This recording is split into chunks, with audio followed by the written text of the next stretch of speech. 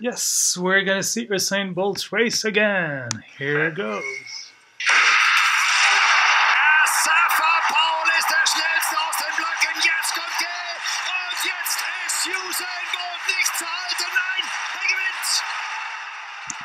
Amazing. That guy's a champion.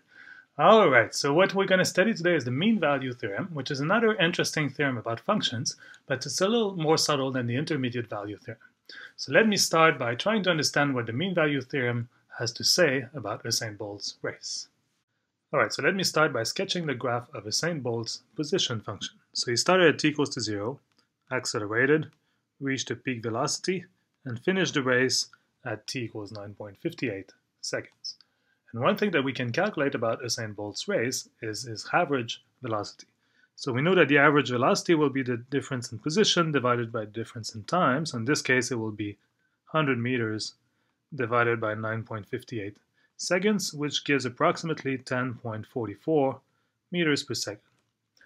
All right, and what does the uh, mean value theorem have to say about Usain Bolt's race? Well, in this context, we can understand the mean value theorem as stating that there must be a time, t, between 0 and 9.58 seconds, at which Usain Bolt's instantaneous velocity was exactly equal to his average velocity. Now, if you think about it for a little bit, that makes sense physically. If Usain Bolt have, uh, had been running the whole race at a constant velocity, then he would have been running at, running at exactly 10.44 meters per second the whole way. But of course, that's impossible, right? He started at rest, so he started with initial velocity zero. So for a certain period of time, he was going slower than his average velocity while he was accelerating. Then at a certain point, he must have gone faster than his average velocity. So the mean value theorem is stating that there is a point in between, there's a time t where he was going at exactly his average velocity.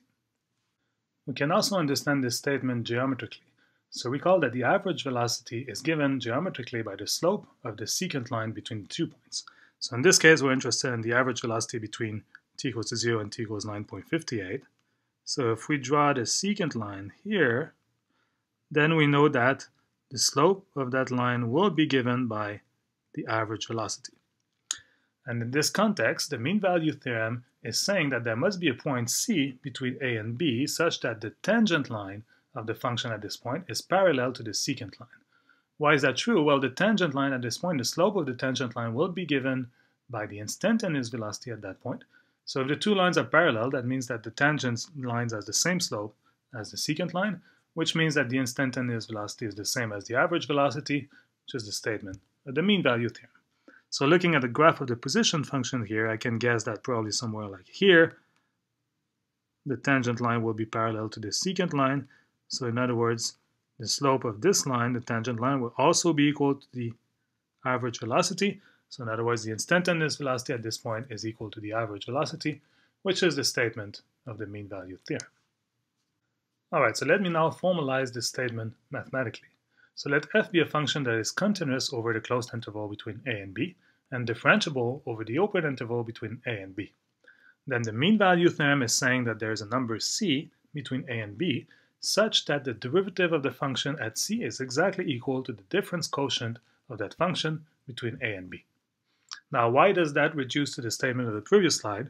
Well, the left-hand side here is calculating the slope of the tangent line at this point, while the right-hand side is calculating the slope of the secant line. So indeed, this reduces to the statement that there exists a c such that the tangent line at this point is parallel to the secant line between the point A and B. Alright, so this is a very interesting statement, has many consequences, and the proof is actually really interesting in itself, so we will see the proof in class. And in fact, as we go through the steps in the proof, we'll understand why the requirements of continuity and differentiability are essential here for the mean value theorem to be correct. So before we move on to an example, there's two comments I want to make. So first is that C here does not need to be unique, just like for the intermediate value theorem, there may be more than one C such that the, the tangent line is parallel to the secant line. The statement of the mean value theorem is an existence statement, namely that there exists such a C, but there may be more than one.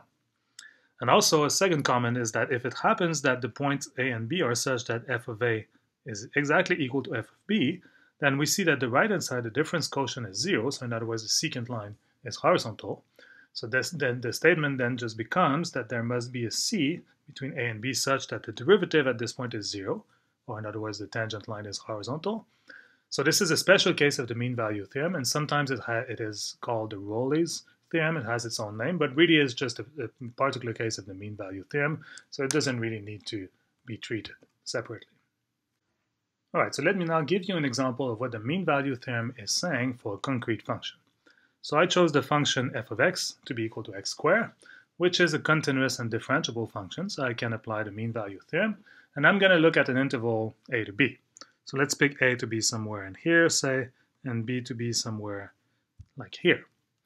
All right, so what is the mean value theorem saying? So the mean value theorem is saying that there is, or there exists, a c between a and b such that the derivative of the function at this point, or the slope of the tangent line, is equal to the difference quotient or the slope of the secant line. All right, so what does this mean geometrically? Well, I have my two points here, a, f of a, and the other point will be somewhere like here, b, f of b. And I have a secant line going through these two points. And what this is saying is that there must be a point C somewhere in between A and B such that the tangent line will be exactly parallel to the secant line. And if I look at the graph, I can see that it's probably somewhere like here. Right? If I sketch the tangent line at this point, it looks like it will be exactly parallel to the secant line. But here we can actually calculate this point precisely because we have an explicit formula for the function. Right? So I can evaluate the right-hand side here. What will I get? So f of b minus f of a over b minus a. Well, the function is just the square function, so I get b squared minus a squared over b minus a. Can factor out ab minus a from the numerator. And then I can simplify the b minus a's because I'm assuming that b is not equal to a. So I'll just get b plus a for the right-hand side.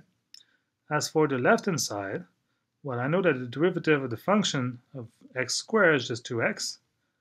So in other words, the derivative evaluated at x equals to c will be equal to 2c.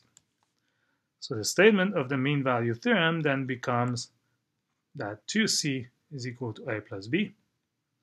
Or in other words, c, the point that I'm looking for, will be equal to a plus b over 2. So what this is saying is that the point c here, so this is the point where the tangent line is parallel to the secant line, in this case will be exactly halfway between a and b. But this is a very special case. This is because this function is so nice. The x squared function is so nice. In general, it may not be halfway. In fact, there could be more than one c, as I've mentioned previously. But for the square function, this is very nice. The point halfway between a and b for any a and any b will be exactly such that the tangent line is parallel to the secant line between a and b. Alright, so let me end this video with an interesting question.